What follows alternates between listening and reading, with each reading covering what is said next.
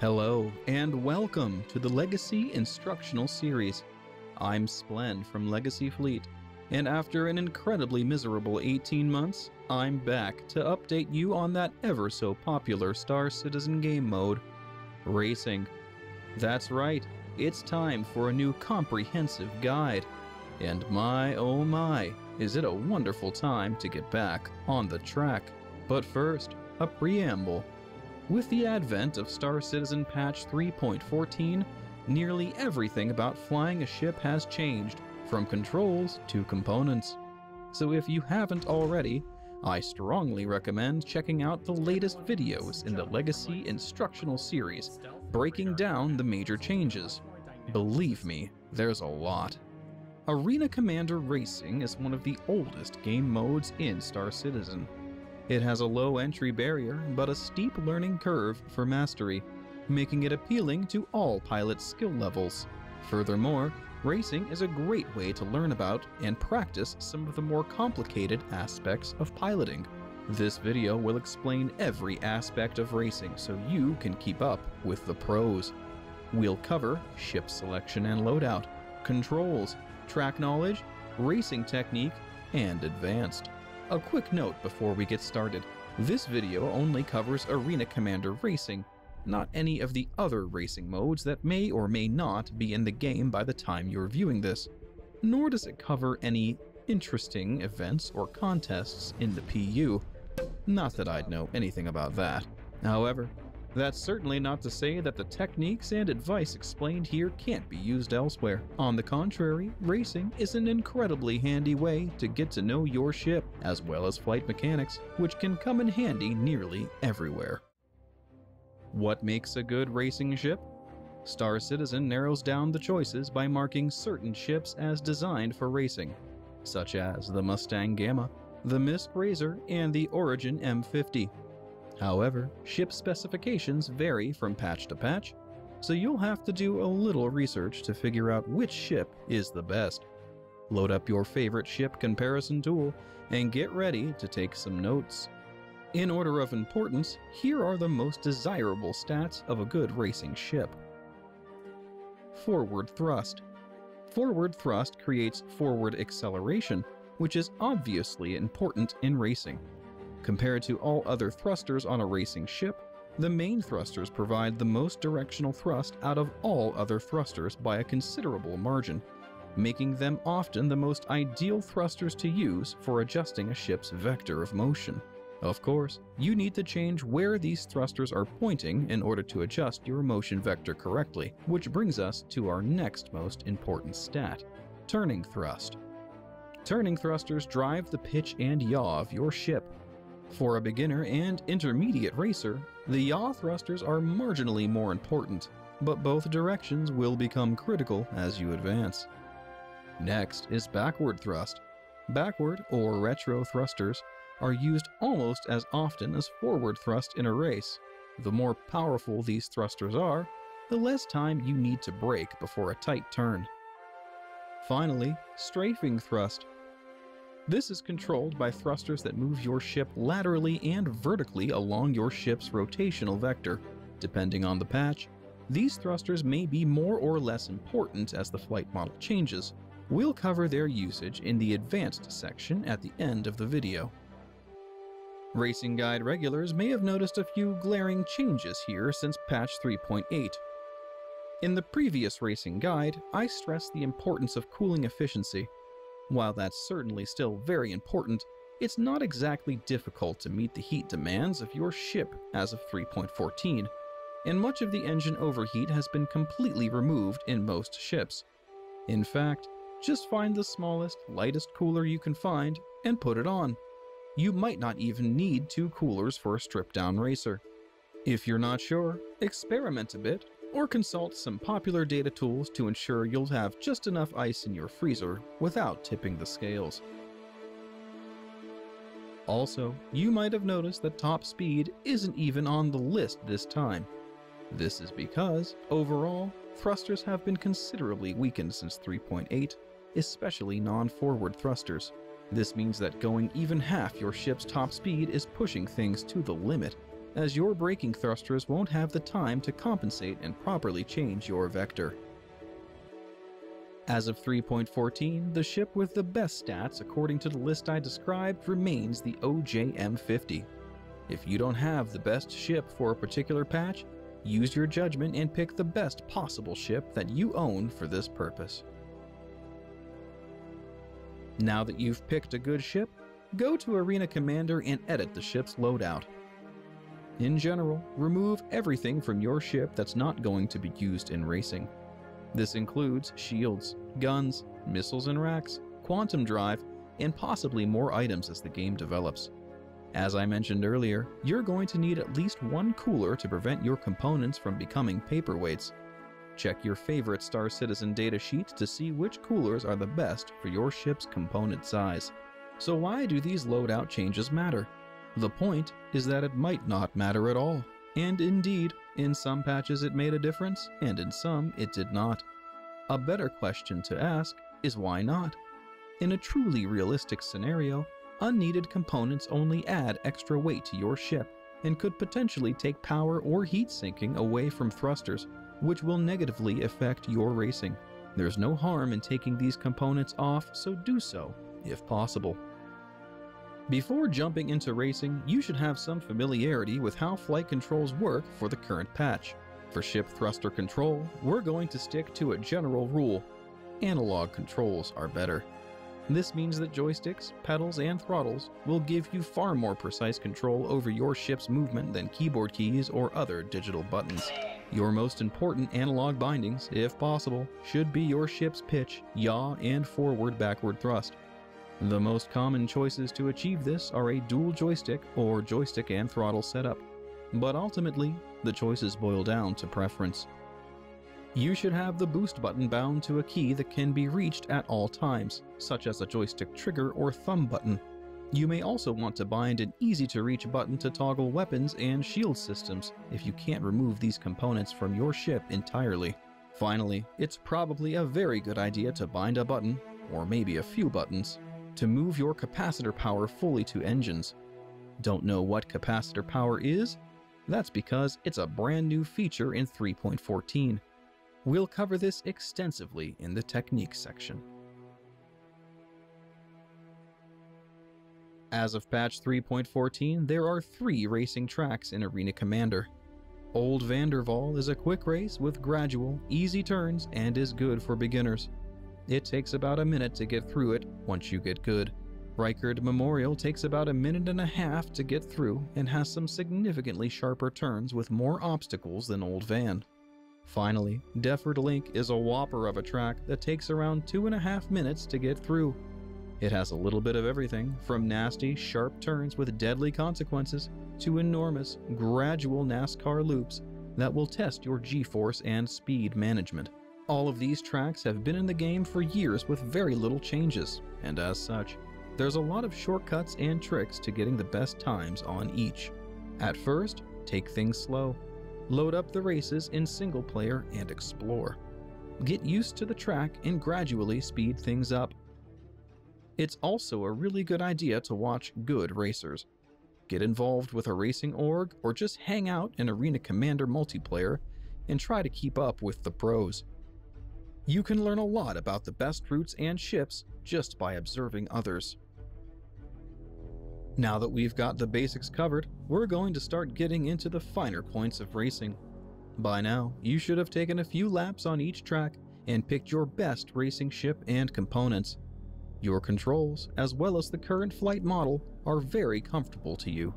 Without any additional help, you are able to get through the three tracks in the times I mentioned in the last section, and now you're ready to push yourself to the limit. First things first, turn off G-Safe which is a setting that limits your ship's thrust to keep your pilot from losing vision or passing out. This is done in the options menu or by a toggle switch. I recommend having it off all the time. Why? The built-in system is too heavy-handed and will hinder your flying once you get really good, and a good pilot can manage their g-force exposure manually. Check out this video from Legacy Instructional Series that offers ways to manage g-forces correctly. Once you've got G-Safe off, get used to the tracks again, because it's going to probably feel a bit different. Practice managing your g-force exposure around the crazy turns while keeping on track. You'll find yourself rolling the ship in different ways and having to get used to seeing the track from different angles. Take your time, and once you feel comfortable again, we'll move on to the next point. Now, let's talk for a moment about speed management. As of 3.14, you could limit your speed with a toggle and set a maximum directional velocity for your ship. As I mentioned earlier in the video, you're probably never going to hit max speed in your ship in Arena Commander Racing, and if you do, you're probably doing something very wrong and are going to really overshoot your next turn. To mitigate this, you can use the speed limiter, but I advise against it. Why? It's another subsystem you need to fine tune while racing. And believe me when I say you want your attention focused elsewhere. My advice is to turn off the speed limiter completely in the options menu. Instead of using the limiter, practice managing your speed by learning the course and getting a feel for the track and your ship.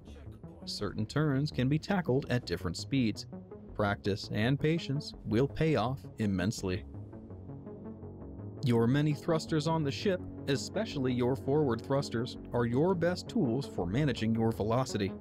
However, you need to be able to turn the ship as fast as possible to do this with the most efficiency. To do this, use multiple maneuvering thrusters simultaneously to change both your velocity vector and rotational vector faster, which can help prevent you from overshooting turns. Check out this video from Legacy Instructional Series detailing why and how you should use multiple thrusters in a combined turn. For the next point, we're going to talk about where your eyes should be when they're not looking at the speedometer. Most of the time, you're going to be looking at where your total velocity indicator is in relation to the track. That's this little thing right here. There are actually two of them, one showing your front vector and one showing the rear vector. Obviously, we're more interested in the front-facing one. The TVI shows what direction your ship is currently moving in, regardless of where your nose is pointing. You want to use your thrusters to keep the TVI from pointing at obstacles, because that means you're going to crash into that obstacle. You should be directing the TVI around turns and through the next checkpoint ring. Doing this can be challenging when you're trying to use your ship's main thrusters to cut a fast turn which can cause the TVI to be out of your field of view momentarily. When you can't see your TVI, you don't know exactly where you're going, and that can lead to disaster. So how do we mitigate this? As of patch 3.14, there are a few ways. Adjusting your FOV to be very large and getting a nice, wide monitor certainly helps, and is the most comfortable option for newer pilots. As you get better at racing, you'll find that this is still not enough for some extreme situations. One way to fix this is to use the look ahead options in the settings menu. The slider you'll be most interested in is the velocity vector. Slide this to the desired level, and also slide the other ones to lower settings or off completely.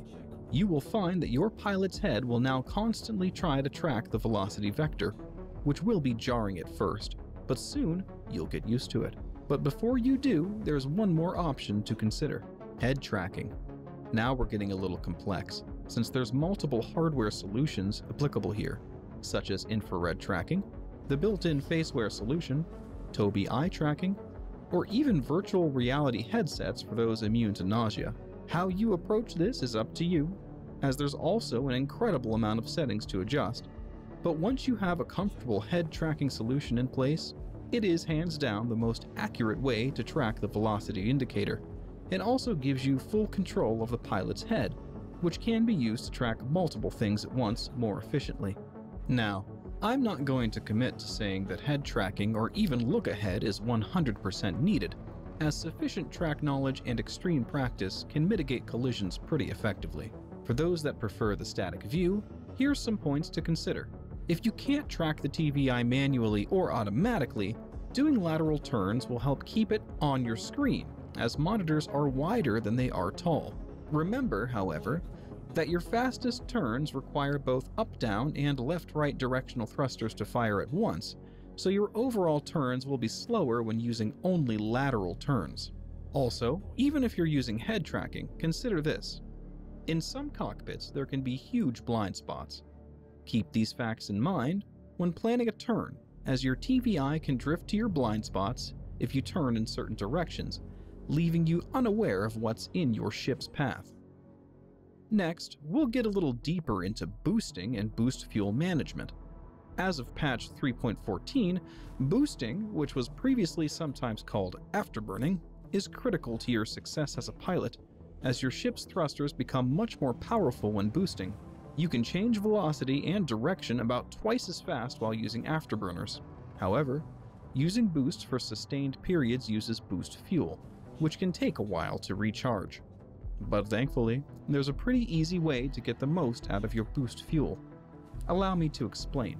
Patch 3.14 introduced huge changes to the way the MFD power triangle functions in game, and it's now absolutely essential to put all capacitor power to engines for Arena Commander racing. That's the bottom icon of the triangle, in case it wasn't perfectly clear somehow. At the time of this video's production, doing this one simple trick gives the ship a passive boost fuel consumption reduction, as well as increased boost fuel recharge speeds. There are tons of bindings for this improved feature, so just make sure that no matter how you do it, you get full power to engines as soon as you spawn in the race, and every time you respawn. With practice, you could manage boost fuel efficiently in a race by learning what parts of a track benefit from boosting, and which parts could do without. While planning your strategies, keep in mind these three extremely important facts about boost fuel. 1. When you hold down your boost button, your boost fuel is going to start draining at a constant rate, no matter the amount of thrusters that are currently burning, and no matter how much they are burning. The implication here is that it's best to use your boost when you're going to get the absolute most out of it, such as when drastically changing your vector using a combined overturn. 2. When you let go of the boost button, there's always a cooldown before it starts recharging, and if you hit the boost button again during that cooldown, the cooldown will start over when you release the button again. That means that feathering the boost button might not be the best option. Instead, it's probably better to plan very decisive boost durations at specific turns. And finally, 3. Boosting also increases your rotational speed. These three facts combined bring to light an obvious strategy. Boosting is best used in a turn, which in Arena Commander Racing means the period of time directly before and immediately after flying through one of the checkpoint loops, and sometimes even in other situations, depending on the track. Finally, let's talk a bit about death. In the racing game mode, you're going to tear wings off of your ship and sometimes smash components and thrusters without blowing up. This can be problematic to your performance, and since there's no pit stops or repair opportunities, it's probably better to just kill yourself. It sounds shocking and morbid, but as of patch 3.14, self-destructing is nearly instantaneous in Arena Commander Racing, making your death and subsequent miraculous resurrection in a brand new ship quick and painless. Self-destruction can also be much better for your overall race time if you veer too far off course. Get this button bound to something easy to reach because you'll be committing ship seppuku very often. At last, the final section of this tutorial has arrived. Before continuing, practice all the points covered in the last section. By now, you're feeling like Space Jeff Gordon. You're the envy of your entire org, and you frequently win in multiplayer. You deliver the tofu, and it's piping hot. You don't spill your drink around turns. You're able to easily surpass the racing times I mentioned earlier in the video, and you're looking for absolutely every little edge you can get in order to shave off milliseconds. Well, look no further. You're probably wondering why I mentioned strafing thrusters at the beginning of the video and then completely ignored them. That's because they're largely unimportant when you're just learning the ropes. But now that you're in the section called Advanced, it's time to unlock their uses. By default, when your ship is in coupled control mode, your strafing thrusters automatically fire and try to move the velocity indicator to where your ship's nose is pointing. This motion dampening is mostly sufficient and helpful during a race, but not always. You can manually fire your strafing thrusters to fine-tune where the TVI should go, which is especially helpful if you want to adjust rotational vector and velocity vector in different directions at the same time. I find myself doing this quite often, especially to get a head start on the rotational vector needed to pull off a really dramatic turn. This, of course, takes lots of practice, but the benefits of unlocking such power are worth the effort.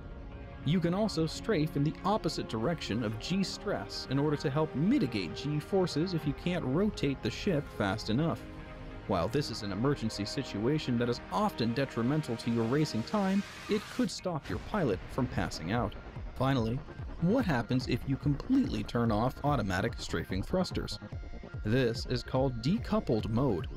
You can switch between coupled and decoupled mode with a keybind, and for racing, you'll probably want it as a hold rather than a toggle, since you should only be decoupled for small amounts of time, unless you're an unchained god who can race with only manual thruster control. But for us mortals, this technique can be helpful in certain situations. For example, if you're approaching a sharp turn and have your TVI lined up perfectly, you can decouple to keep your TVI steady while turning the ship.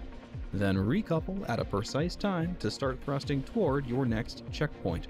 Keep in mind that while you're decoupled, unless you're firing thrusters manually, you will not be slowing down at all, making it easy to accidentally overshoot turns.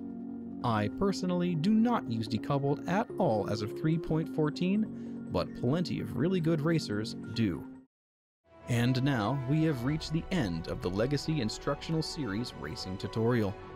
Be free and experience the thrill of motion sickness, a stiff neck, and sore wrists for countless hours of non-stop practice as your significant other, pets, and or children wonder if you'll ever be seen again. But when you careen through the finish line at insurance-defying speeds, you'll know that your journey was worth it.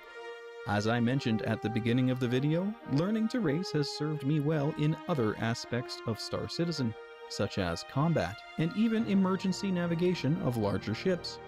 You can cut turns faster, save fuel, and outmaneuver your foes with your superior understanding of vector control. And who knows, maybe one day we'll get to actually race as a career path in game. If that day comes, you'll be ready, because you were here. Go now, my friend, and prevail.